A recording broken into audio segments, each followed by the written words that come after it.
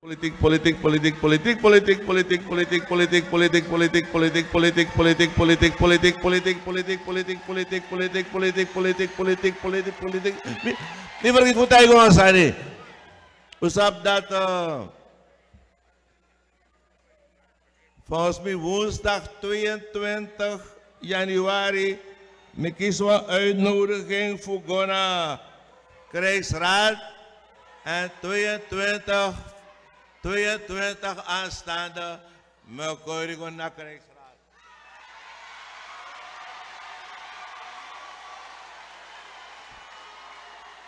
Gaan voor nog vijf, zwaaien wie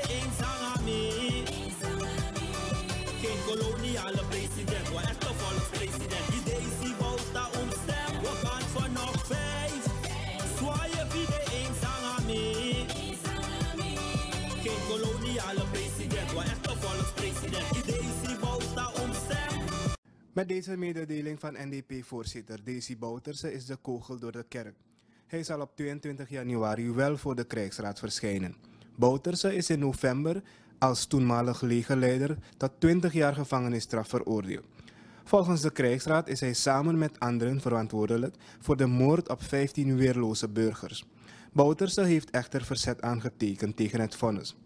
Tijdens een kadermeeting in Osser gisteren ging het publiek uit zijn dak toen Bouterse duidelijk maakte dat hij wel voor de rechter zal verschijnen.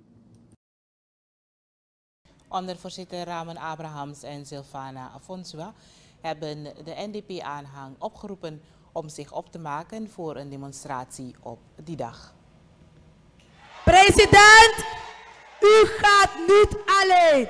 Wij gaan. President, de NDP gaat.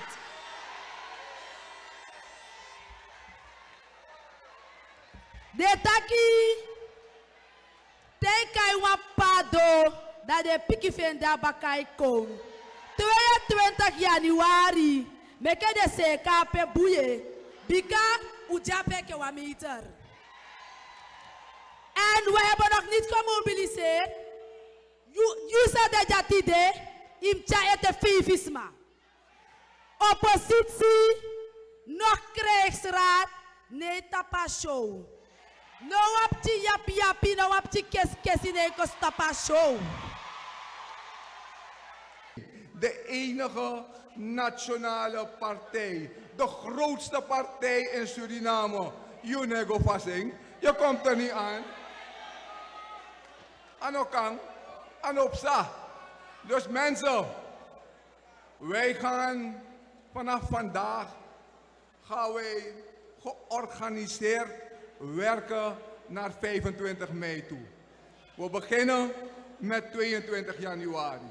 En daar zullen we al onze kracht laten zien op straat. Want we lopen maar de straat. Waar zijn ze? De staak, de doet die. NDP nooit naar de. Εφού ουάνεκ NDP τεξτράτη, ου τεξτράτη, εγώ σώρου νου βοέ τεξτράτη. De hoort τεξτράτη nou weer, τεξτράτια. NDP-ondervoorzitter Ramen Abrahams en daarvoor Sylvana Afonsoa gisteren tijdens de kadermeeting van de NDP. Het tweetal heeft de achterban van de partij opgeroepen om 22 januari Desi Bouterse te ondersteunen wanneer hij voor de krijgsraad verschijnt.